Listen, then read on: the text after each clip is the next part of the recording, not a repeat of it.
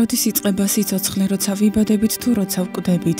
რთულია გასცე პასუხი კითხვას, რომელიც ყველა ეპოქას აერთიანებდა.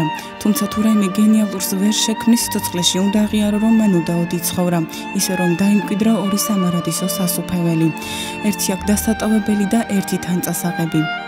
სიკეთე და გენიალურობა უბრალობით იწყებაო უთქვამთ და მართლაც რომ ამის უბადლო მაგალითი ადამიანი, რომლის ხელის მტევანმა სამარადისოდ გაერთიანა ჩვენთვის ხელული და უხილავი.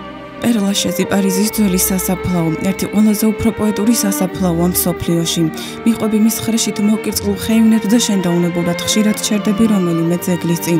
ზოგჯერ ნახევრად რომ დაუფარავს ხშირ ფოთლებს. აქ არის დიდება საფრანგეთის ამისი გენია, მისი ისტორია. აქ იმარხებოდნენ წინათ პარიზის ღარიბ ღატაკები. ერთ-ერთ ასეთ საფლავის ქვაზე ამოტვიფრულია წარწერა იტალიურად. ამადეო მოდილიანი მხატვარი. დაიბადა ლივორნოში 12 ივლისს 1884 წელს. გარდაიცვალა პარიზში 25 იანვარს 1920 წელს. დიდების კართან წამოეწია სიკვდილი. ამადეო მოდილიანი ებრაელების წრულ ბურჟუაზიულ ოჯახში იტალიაში ლივორნოში დაიბადა. ფლამინო მოდილიანისა და ევგენია გარსენის ოჯახში. ორი წლის ამადეოს დედა თავის დღიურში ასე ახასიათებს: ცოტა განებივრებული და ჯიუტი, მაგრამ ანგელოზევით საყვარელია. მოდი ძალიან გძნობიარე ბავშვი იყო, სუსტი, ავადიოლად ხდებოდა. 11 წლის ამ პლევრიტი გადაიტანა მერე ტიფიც დაემართა. აგონიაში წვას არეცელზე და განაჩენივით იმეორებდა: მე მხატვარი ვარ. ხატვა 5 წლის ასაკიდან დაიწყო 14 წლის სამკი მეცადინეობა ფერწერაში გულიევო მიქელისთან მის მიერ დაარსებულ ფერწერის სკოლაში გააგრძელა. ისედაც სუსტი ჯანმრთელობის სამადეო შემოქმედება უფრო დაასუსტა. 1900 წელს ის ტუბერკულოზით დაავადდა. 1906 წელს 22 წლის მოდი პარიზში გადავიდა საცხოვრებლად გაიცნო იქაური მხატვრები და მალე ბოჰემური წრის განუყრელი ნაწილი გახდა. დაუმეგობრდა პოეტ ჟან კოქტოს გაიცნო პაბლო პიკასო. მოდილიანი მალე ჩაერთო პარიზის ღამის ცხოვრებაში, მას ბოჰემური ადამიანის რეპუტაცია შეექმნა, რამაც საბოლოოდ დაღუპა კიდეც. მოდილიანი ბევრს ხატავდა, მუშაობდა ქანდაკებებზე, მაგრამ მისი შემოქმედება მხოლოდ გარდაცვალების შემდეგ დაფასდა. ხატვარი განიცდიდა, ბევრს სვამდა, ეწეოდა. 1914 წლიდან მოდილიანმა ექსკლუზიურად მწერალ ლეოპოლდ ზბოროვსკისთან დაიწყო ხატვა. ეს უკანასკნელი მხატვრის წარმომადგენლად მიიჩნეოდა და ნახატების გაყიდვაში ეხმარებოდა. სწორედ მან შეუწყო ხელი უკვე მძიმე ავადმყოფ დიდო სამხრეთ საფრანგეთში გადაბარგებულიყო, რადგან ამ პერიოდში პარიზში ცხოვრება პირველი მსოფლიო ომის გამო შეუძლებელი იყო. ამადეომ ჟანას პორტრეტი მათ პირველივე შეხვედრაზე დახატა და თავის ახლოს მეგობარს მოქანდაკე ბრაკოზის უთხრა. შევხვდი ქალს რომელიც ხშირად მესიზმრებოდა ვფიქრობ ჩემი ნამდვილი სიყვარული ვიპოვე.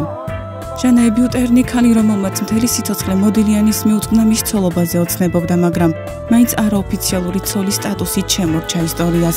ჟანამ და მოდი ერთმანეთი 1917 წელს გაიცნეს და მალე ერთად დასახლდნენ მაშინ ჟანა 19 წლის სახვითი ხელოვნების სკოლის სტუდენტი იყო ტუბერკულიოზის გამო მისი ჯანმრთელობა სულ უფრო სუსტდებოდა ჟანას მშობლების დახმარებით წვილი მოდის სამკურნალოდ ნიცაში გაემგზავრა. იქ მათ გოგონა შეეძინათ. ძალიან ბედნიერი ვარ წერდა მოდილიანი დედას 4 თვის შემდეგ.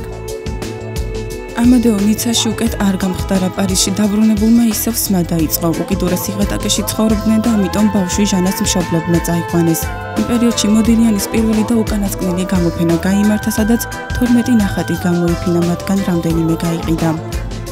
1920 წელს მოდილიანის და ჟანეს გაუჩინარება მეზობლებმა შენიშნეს 24 იანვრის საღამოს ერთ-ერთმა მათ კარზე დააგაგუნა. შიგნით შესულმა საწოლში მძიმედ დაავადებული მოდილიანი ნახა, რომელსაც სასო წარკვეთილი ჟანა მთელი სხეულით ეკვროდა. მოდი ღატაკთა თავშესაფრის თავადმყოფოში გადაიყვანე, სადაც ორ დღეში გარდაიცვალა. მეორე დილით 20 წლის ჟანა მეხუთე სართულიდან გადმოხდა. ამ დროს ის მეორე ბავშვზე 9 თვის ორსული იყო. თქვენ იცით რა არის სიყვარული? ნამდვილი სიყვარული.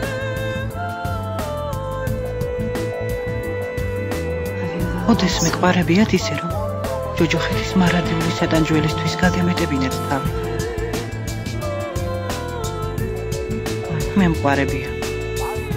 ხატვარი, რომლის ნამუშევრები სინთეზია ტკივილის ბედნიერების სიგიჟისა და უბრალოდ ყველა ადამიანური თვისების. თქვენი ადამიანები ცდილობენ შეეგუონ სამყაროს, ხოლო გიჟები შეეგუონ სამყარო. სწორედ ამიტომ არის, რომ ისინი ქმნიან ხშირად ისტორიას. შეუძლებელია ჩარჩოში იცხოვროს ისეთმა ხელოვანმა, როგორიც მოდილიანი იყო, რადგან თავად მისივე შექმნილი ნახატები ცდებიან ჩარჩოებს და მთელ გალაქტიკას მოიცავენ ხოლმე.